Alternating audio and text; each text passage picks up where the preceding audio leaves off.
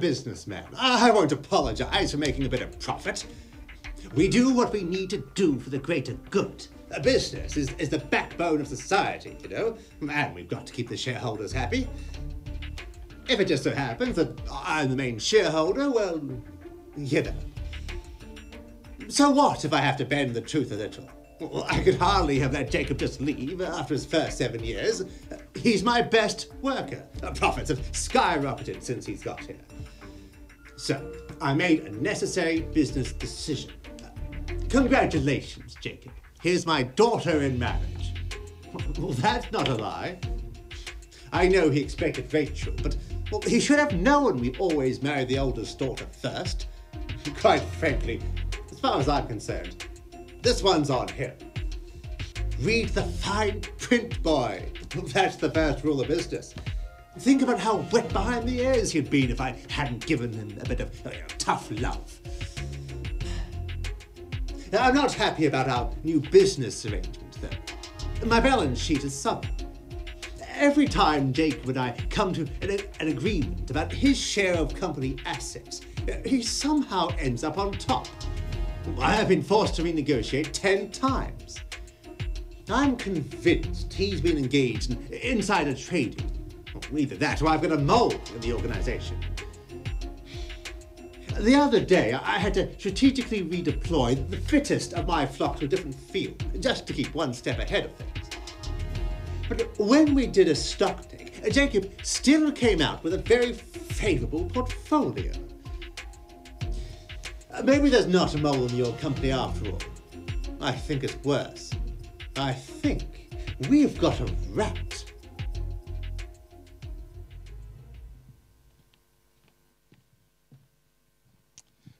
Well, I still can't believe it that you've allowed me to come back. uh, I was lonely last time I came, so I, I brought some friends, um, Bessie and Miri and Summer, just uh, to support me uh, this morning, um, just in case. But uh, yeah, so we are thoroughly enjoying the series at Life Church. Honestly, we're enjoying it. Um, we had uh, Ruben over last um, last week, and uh, it was it was a, it was it was a really good message. Um, by the way, Ruben, um, I think out of all the messages, Brad and Jonathan, yours was the best. yeah. So, uh, oh, is this is this record, recorded? Okay. Um, yeah. So. Um, no, it was good. Uh, we're just grateful to partner with you and uh, have this relationship, as uh, Pastor Ruben was saying, and uh, it's been really good. And by the way, I better behave this morning because the boss is here. Um, so, um, but uh, I'll start off with uh, something to wake you up. All right. So there was this young six-year-old boy who went up to mom and said, "Mom, where do humans come from?" And so mom said, "Well, son." um, God created Adam and then and Eve, and then Adam and Eve had children, and they had children, and then had children, and that's where we came from. Well, okay. So he went to his dad. Uh, he wasn't, you know, quite uh, uh, happy with the answer. So went to dad and said, Dad, where do human beings come from? Where did we come from? And dad said, Well, um, son, um, a long, long time ago, um, there were monkeys um, and, um, and then monkeys had, you know, hair, and then we have evolved from monkeys and we've lost some of that hair, and then now we're human beings. Young boy was a, a little bit uh, frustrated, so he went back to mom and said, Mom, I don't, I'm not quite happy with, with the answers. What, what's, the, what's the truth? You said that we, that God, uh, we are created, we came from Adam and Eve, and dad said that we came from monkeys. What's the truth? And mom said, Well, son, your dad was just explaining his side of the family. I, I'm telling you my side of the, of the family. All right, so I don't know which side of the family you're on, but in this series, we've been talking about one particular family, a very interesting family. You're probably uh, familiar with this family by now. It's been, it's been what, four weeks or five? Um, five weeks we've been talking about this um, family. It's a very confused family, the family of Jacob. It's a very interesting, if you follow the story by now, this is probably the original soap opera family of the Bible. And uh, uh, not only that, but uh, this family is just one big messed up family. I mean, the story, we find sibling rivalries, we find deception, we find mistrust, we find jealousy, we find lying, bitterness, scheming. The list goes on. I hope your family is not like this family. Well, you're, you're a nice Christian family. So, um, but here's the thing about this family this is the chosen family.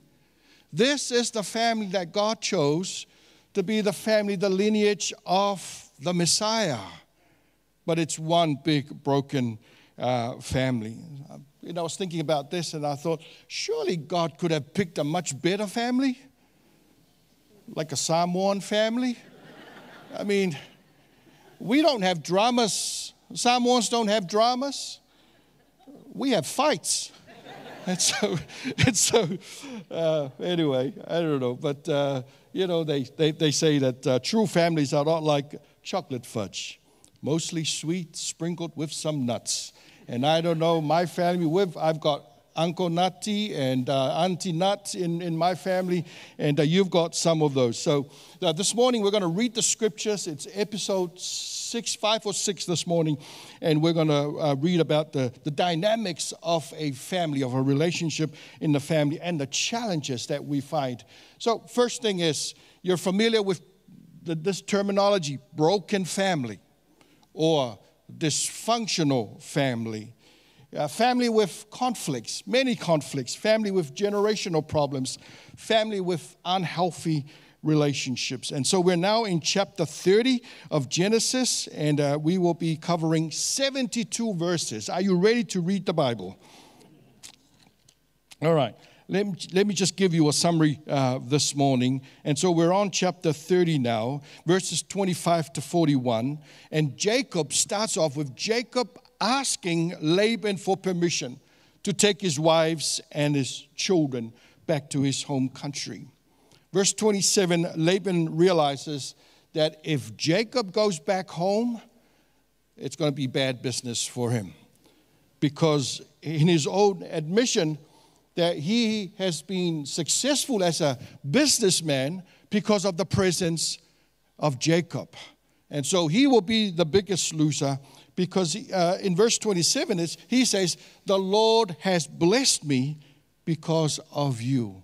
Man, we could do with some Josephs around us, I mean, some Jacobs around us that will give us the blessing of God. So Laban makes this proposal, and uh, he says, Well, Jacob, how much do you want? Name your price. And, but what he was trying to say is, Please don't go.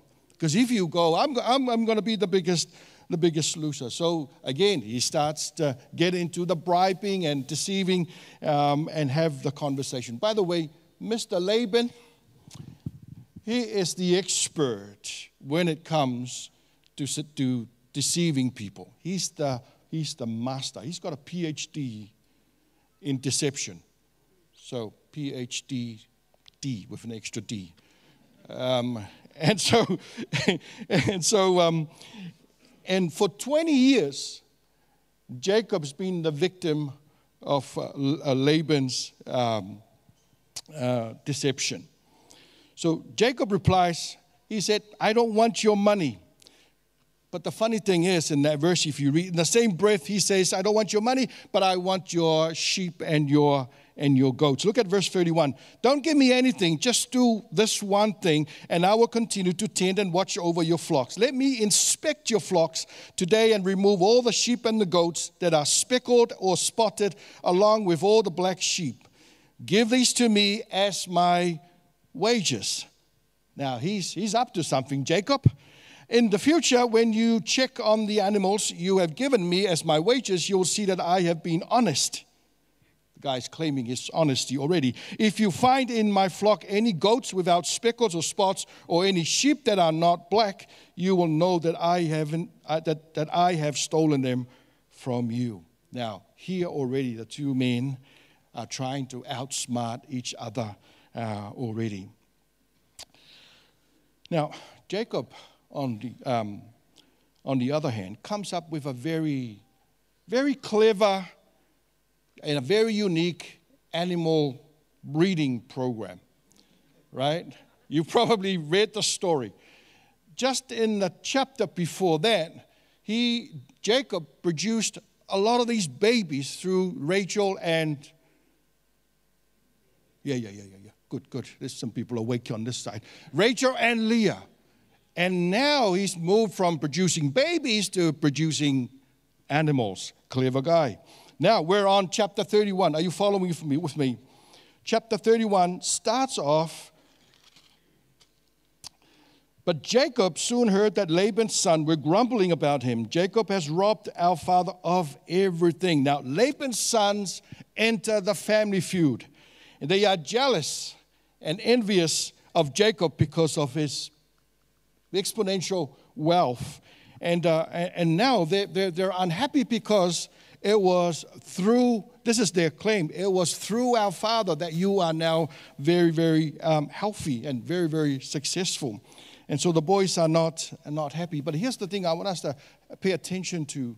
Even though Jacob is the brother in law of these boys, they're still treating him as an, as an outsider. We need to love our in laws and treat them nicely, especially the Yes, the mother in law. I don't know why we have this issue with mother in laws, but you got to love them. Amen. And all the mother in law says, which is most of you, right? Amen. Now, the third problem that we see here is Laban's attitude. Look at verse 2. Laban is not very happy, and Jacob starts to see that there's something a little bit odd about Laban because Laban here knows that he's not going to get rich from this new scheme. So he is not uh, happy um, because of what, what his son in law is now proposing. Look at verse 3. God enters the conversation and tells Jacob, Jacob, it's time for you to go back home. And so Jacob did the very good thing. Husbands, listen to this. Jacob, as all good husbands, would do, they will be, before they make a big decision, they will talk to their, talk to the, to the ladies. And that's what he did. He called Rachel, he called Leah, and uh, you know he's trying to be tactful here because he's now he's going to say some nasty things about Rachel and Leah's dad, and so he had to say the right the right thing. And so he gathered and had this family group conference. Have you been to one of those? family group conference. You don't have them here in North Shore. I've been to a lot of family group conferences in South Auckland. Right? My wife went to a family group conference once. And she went to just to pray for one of the ladies and support one of the ladies who uh, new to church, and they, because they, uh, they took three of her children. And so uh, she went to pray for her and support her. And then I got a phone call in the afternoon and say, darling, can you prepare the house? I'm bringing three kids with me. I thought, What? So we had a, I think it was a, a, a seven year old, a five year old, and a, and a one year old baby. I mean, I've, my days of nappies have gone, but I had to relearn how to do all, all of that. And uh, anyway, but um, family group conference. So Jacob starts the conversation with the girls and say, you know how your father has been uh, uh, cheated me for all these for all these years he's changed my wages for the last uh, 10 times um, and so the girls the, the wife said yeah do whatever god is telling you to do man i love to hear that from my wife all the time go ahead and do whatever god is telling you to do look at verse 4 Let, let's read verse 4 um, Verse, verse 4, you can see that there's been a change in Jacob's attitude. There's been a change in his growth because remember that when I was here last time, he had an encounter with God, and it seems like that was the first time he met God. And God introduces himself to him and told him about he is the, the God who spoke to the father and the grandfather. Now he is talking to um, Jacob, but look at verse 4. Jacob comes up with this really nice phrase of spiritual growth and maturity. He says, All of this is happening to me, but God. God is now involved in the life of Jacob. Look at verse 7. He says, But God has not allowed him to do me any harm. Look at verse 9. God has taken your father's animals and have given them to me. There is a tone here that he is now has begun a relationship with God, and God is now part of his life. Now, if you remember, uh, three weeks ago, I was here and I told you about four things. Do you remember those things? They all start with P. Yeah, the first one is. Right. Okay. Um, remember how Jacob, um, Jacob said, if God will go with me, presence, and if God will provide for me my clothes and food, and if God will protect me, and if God will take me back to my family in peace, four, four P, four P, uh, four P's. Um, and so this is exactly what is happening here, because in verse four you will see that verse four God has been with Jacob, presence. He's been with him. Um, that's, what, that's what he's saying. He said, But God of my father has been with me. So this is where we see the faithfulness of God. Not only that, verse 7 God has not allowed Laban to do me any harm. God has been protecting Jacob. look at verse 9 God has taken your father's animals and given them to me. God has been providing um, for, for, for Jacob. So we see this is the faithfulness of God, even though this guy is a very cunning yeah, uh, fellow. One of the things that we see here in, um, in verse 15, the truth that we see in the lives of Jacob is that the God of Abraham, the God of Isaac, the God of Jacob, is a God that is above all circumstances.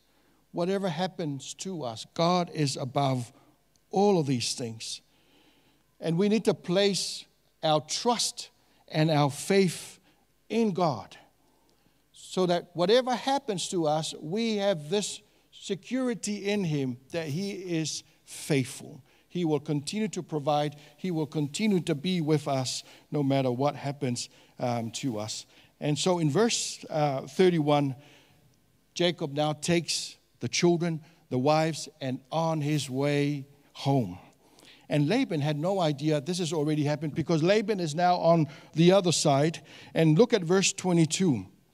Verse, verse 17. And they leave their home. Rachel steals the father's idol. Now, Rachel is now catching uh, the whole um, family uh, lies uh, the whole um, um, family evil of uh, conniving and de- deception. We see that in Rachel. Verse 22 Three days later, Laban was told that Jacob had fled. So he gathered a group of relatives and set out in hot pursuit. This is like a nice drama. He caught up with Jacob seven days later in the hill country of Gilead. Now, this, is, this sounds like one of those. Um, John Wayne cowboy movies. Have you ever, who, who knows about uh, James Bond? Right. What about Daniel Boone? Yeah, you know? Don't show your age. But yeah, Dan, Daniel Boone. Daniel Boone was a man. He was a bee. Yeah, all right, good, good, good. So, so, so, yeah. Um, verse 24. But the previous night, so just before uh, they had this encounter, the previous night, God appeared to Laban in a dream. Now remember, Jacob had a dream. God appeared to Jacob in a dream. Now Laban gets a dream himself. And so the dream, God says to Jacob, I'm warning you, leave Jacob alone.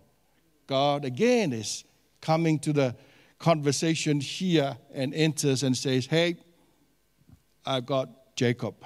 Don't touch him. Leave him alone. I'm protecting him.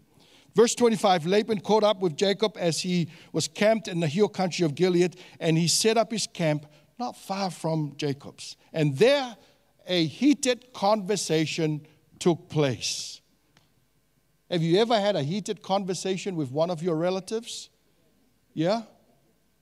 Yes? All right. Okay, there's only a few honest people here. Yeah. And those are not, not nice, those are difficult when you're, when you're having those tough conversations. And so in verse 26, Laban starts off by having a good go at Jacob. Look at it, verse 26. I, I want you to pay attention to some of the words, and I'm going to emphasize some of the words. Look at verse 26. What do you mean by deceiving me like this? Laban demanded. Deceiving? Look who's talking here. How dare you? These are the words, phrases that we use when we have these fights, right? How dare you drag my daughters away like prisoners of war? Is there a war? I didn't know there was a war. Verse 27 Why did you slip away secretly? Why did you deceive me? Second accusations. And why didn't you say you wanted to leave? Verse 28 Why didn't you let me kiss my daughters and grandchildren and tell them goodbye? You have acted very foolishly. Verse 29 I could destroy you. Wow, sounds like a threat here. I could have killed you. That's probably what he's saying. Now let's analyze the conflict. First, there's an accusation here, accusing Jacob of deception. Second, there is an accusation here that dragging the daughters away as prisoners of war. war. And then there's the, the other one, slip away in secrecy. And he said, You didn't talk to me. There was no consultation. Laban belittles Jacob and calling him a fool. He said, You've acted foolishly. And then the last one is a death threat. Now, maybe you haven't gone that far when you have your dramas and, and do a, a death threat uh, on, your, on, your, on your relatives, but you can see that the toxic environment um, and the conversation that is happening here. Now, and then Laban, one, he said, One more thing. Why have you stolen my gods? Now, remember the story. Jacob has no idea that Rachel has stolen the idol. Um, and so Rachel now tricks her own father. See, see what's happening in this family? Right? Not only the uncles, the aunties, the, the brothers, the brother in laws, um, the wives, um, and now the, the, the, the, the daughters to, the, uh, to, to, to their father. Verse 36 Jacob fires back at Laban. And uh, now he's trying to protect his innocence. Look at verse 36. He says, um, Then Jacob became very angry and then challenged Laban What's my crime? The guy is trying to be innocent here. What have I done wrong to make you chase after me as though I were a criminal? Look, look, at verse 37. You have rummaged through everything I own. Now show me what you found that belongs to you. He has no idea that Rachel has the idol and is sitting on the, on the idol. Verse uh, 37 Set it out here in front of us before our relatives, for all of them to see. Let them judge between us. Basically, what Jacob is saying, come on, let's bring it on, like David Tua would say, bring it on, bring it on. And um, this would make a really good uh, post online, you know, a little video clip of, uh, but, but that didn't happen because there were no cameras back then.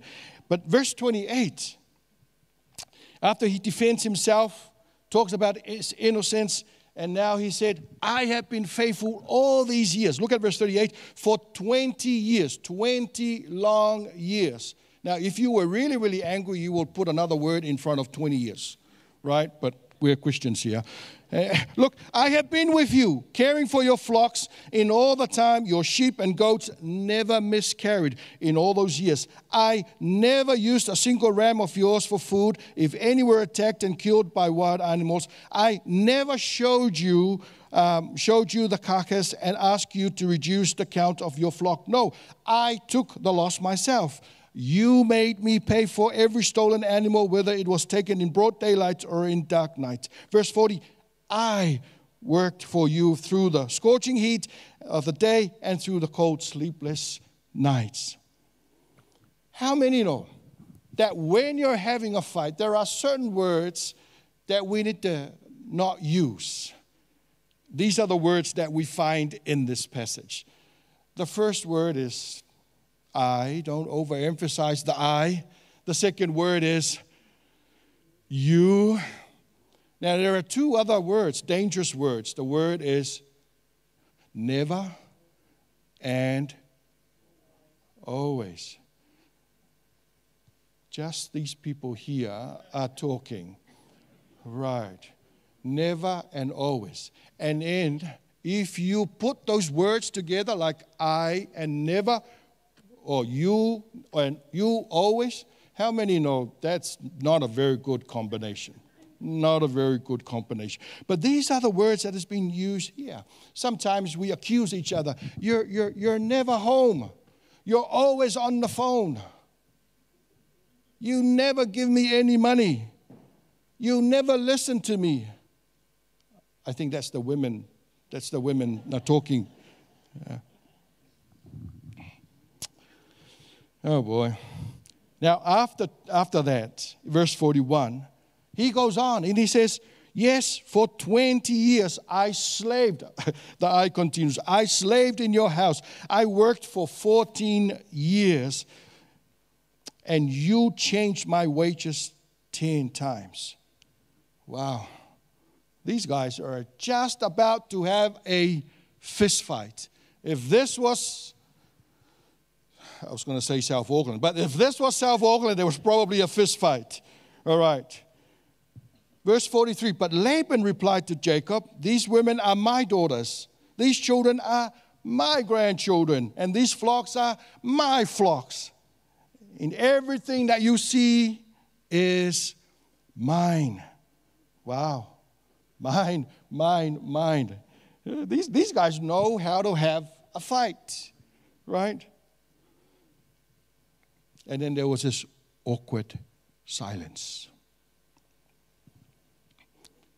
My background is radio, and if there's an awkward silence on air, it's called dead air. Now there is a dead air. I don't know, that the Bible doesn't say it went on for an hour or two hours or probably a day. Doesn't even say. But verse 44, this is the turning point. Verse 44, Laban says, So come, let's make a covenant, you and I, and it will be a witness to our commitment. Isn't that nice? That these guys have been arguing and fighting and now they've reached a point where they now say, okay, I think it's time to reconcile.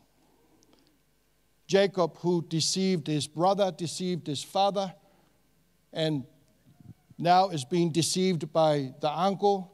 The, the deceiver is being deceived, but now all of this is about to change.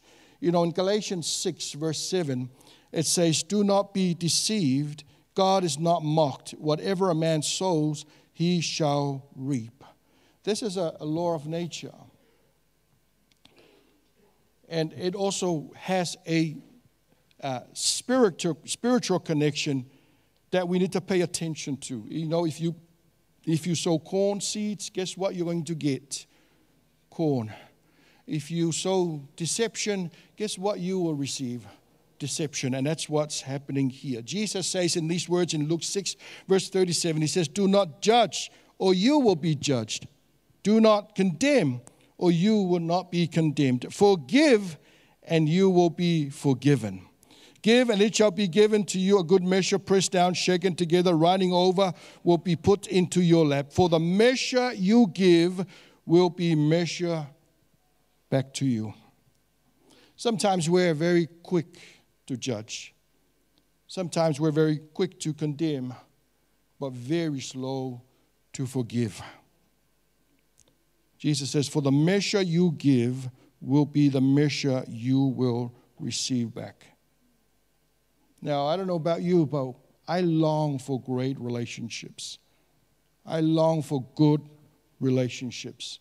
In my own family, as I speak now, we have some people in our families that we're not talking to each other. And this has been going on for years. We've tried. We've tried. And we're still, did I just sound like Trump, Donald Trump just then? We tried. We tr- just have a look at our immediate families. Are there relationships in our families that needed reconciliation? That we can reach out and have that conversation come now? Are there uncles and aunties that we can say, come now? In our extended family, or perhaps in your own life, there are some uh, areas of our lives that we need to pay attention to because we need to release uh, forgiveness. In this story, God has been very faithful right throughout. And one of the things I love about the character of God in this story, no matter the, the circumstances that's happening in this family, I am amazed with the mercy of God on this family. I am amazed with God's sovereignty, even though in our human understanding and in our eyes we look at this thing as surely this can't be God. But God, in His own way, He is working out His big plan that sometimes we don't see it because we just look at the problems that are happening. But behind that, God is still at work. I'm amazed at the faithfulness of God in this story. In this family, you heard last week this, that the, uh, Leah being so unloved. Uh, she was, uh, what's his name? Jacob did not love her. And yet, it was through that that God brought the Messiah through, um, through, through, the, through her line. Here's the thing that we can see in this passage, in this scripture, and in this story God still uses imperfect people. God uses dysfunctional families, broken lives, broken families to fulfill his purpose. And if God can use Jacob and Laban and Leah and them, man, that gives me a lot of, lot of hope. A lot of hope. That even though in my own messed up life and messed up family, God reaches out. God is, is a God who is willing to use um, our dysfunctional and our, our, our lives so that His glory will be manifested and His promise will be fulfilled. If you look in the Bible, right from Genesis all the way to Revelation, you will find some really broken, messed up people. And you'll think to yourself, how on earth can God use such people? I mean, Noah was drunk. Did you know that? The guy had an alcoholic uh, issue. Abraham was too old. You probably uh, heard this list before. But Sarah laughed at God's promises. She was an unbeliever. Leah was ugly. Oh, there's hope for us. Joseph was abused. Moses had a stuttering problem. Remember him? And he was also a murderer. Gideon was afraid. Samson had a, a long hair. and he was also a womanizer. Rahab was a prostitute. Yay. David had an affair. Elijah was suicidal. Jonah ran away from God. Miriam was gossip. Jo, jo, uh, Thomas doubted the Lord. Job went bankrupt. Remember the story? Mary Magdalene was demon possessed. Peter denied Jesus. The disciples fell asleep while praying in the garden. Martha worried about everything. The Samaritan woman was divorced five times, but still Jesus reached out to her. Timothy had stomach ulcers. Who has stomach ulcers? Paul was a Christian killer. Remember? We're in good company. We're in good company. So, what is your excuse? Are you allowing what is happening to you or happening to your family to be your excuse? I tell you what, God is still in the, in the business of changing lives, of transforming lives. In all our dysfunction, in all our brokenness uh, in this story, God is still involved. God is still present. God still shows up, and God continues to be faithful. I mean, if, if this was Laban's attitude, and if this was um, Jacob's uh, life, I would not speak to them at all. But you will see in this story, God continues to speak to them in the midst of their dysfunction. God continues to bless them, even though they have evil ways. Look at um, the other thing is God continues to work through them, through their, um, through their lives. And so, if, if, that, if the, God did that to that, to that family, I'm sure God can use you and can use me and our families. That should bring not only hope but compassion in our hearts. Because sometimes we're very quick uh, to condemn people and look at people's situation. Oh, that woman is evil. But you know what? We have no idea what they're going through. And so we look at ourselves. We also have some things that we are also wrestling with. I don't know. No one knows what you're wrestling with, what your dysfunction is. But in the midst of dysfunction, God continues to function in the midst of our dysfunction. Isn't that good? Yeah. That shows the character of God. That should, for us, should be a, a place where we bring thanksgiving to God because of that. Perhaps that is, if we look at that God's nature and God's character, that should help us bring us to a place of repentance and thanking God.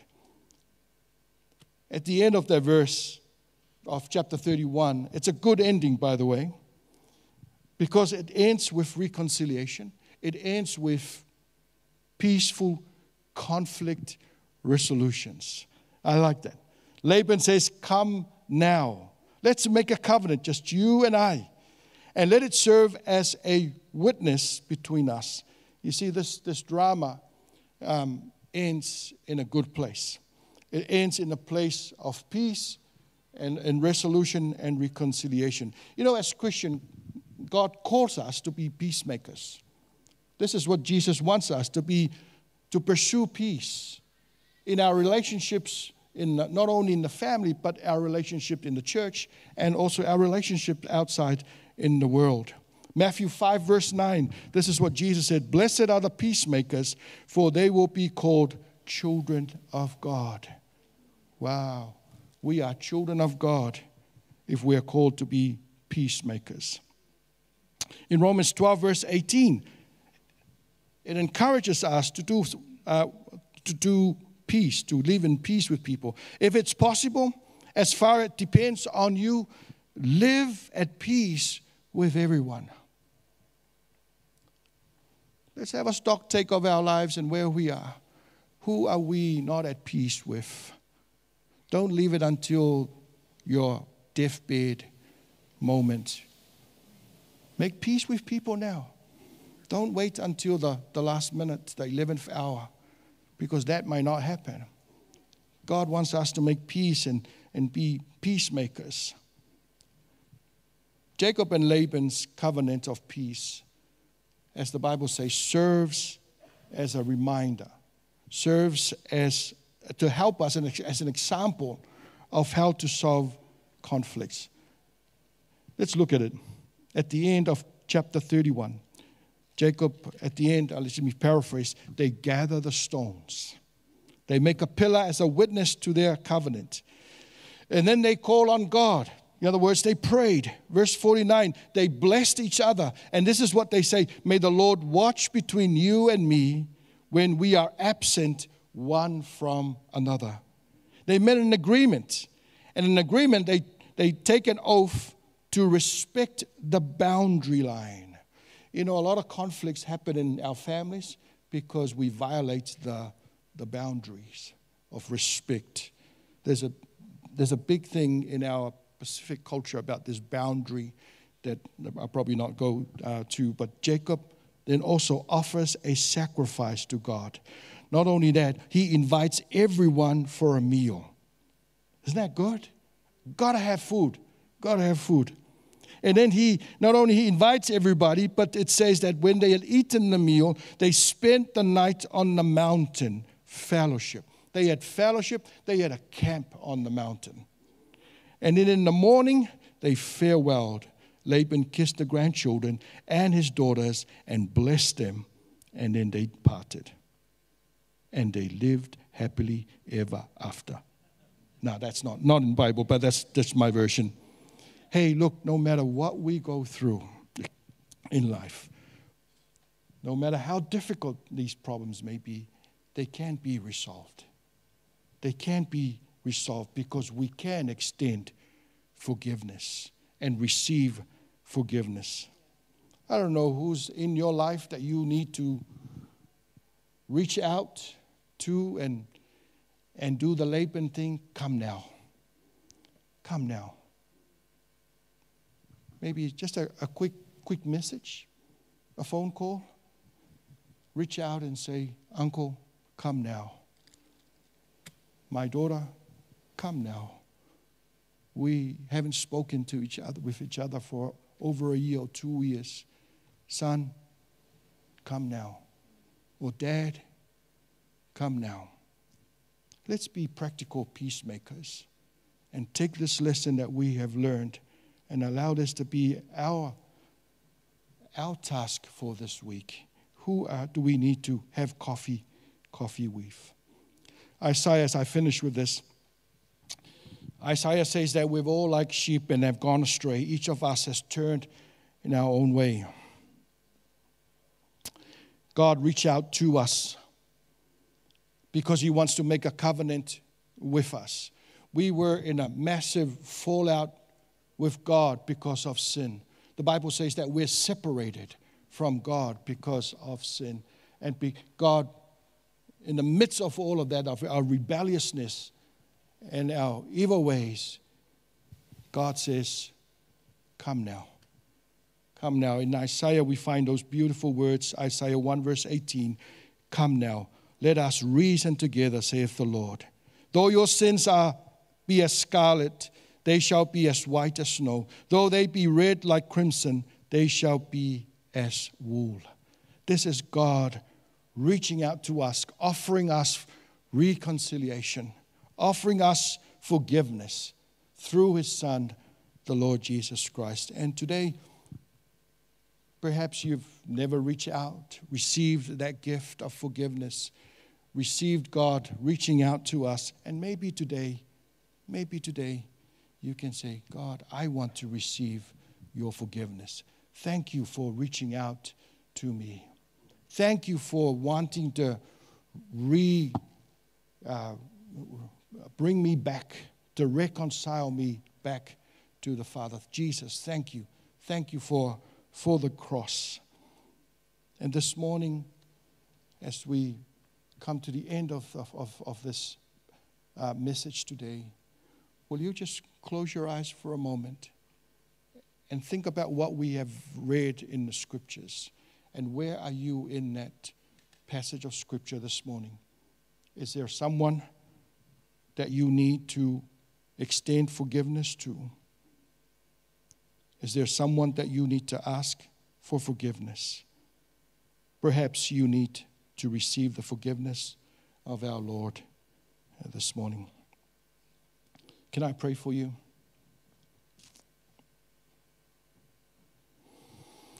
Father, we thank you.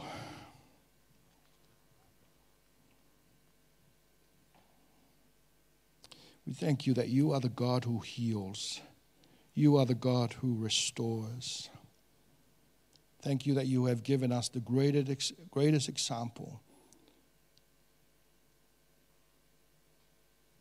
by reaching out to us and forgive us of all our sins through Christ.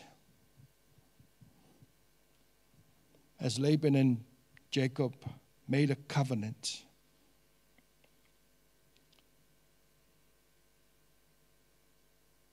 Jesus, you came on the nights before you died and you said these words This is my blood, the blood of the new and the everlasting covenant. Thank you for this covenant in your blood. Lord, I pray for our church family here this morning. If there's anyone who was going through a, a rough time with family relationships or just general relationship, God, I just pray. Help us, Lord God. Give us the courage, give us the strength to put things right, Lord God. Thank you that your word says that your grace is sufficient for us. I pray that you will pour out your grace, Lord God, on my brothers and sisters so that they too able to bring peace to those struggling relationships, Lord, I pray. I pray for faith that it will arise, Lord God, that we may see peaceful solutions in our families, Lord God. I pray for the humility to ask for forgiveness so that Jesus' life may be manifested in our lives, that he may increase and we decrease. Thank you for your ever, your God who is ever present in time of need. And I thank you, God, for your continuous presence. We thank you. We bless you. In your name we pray. Amen.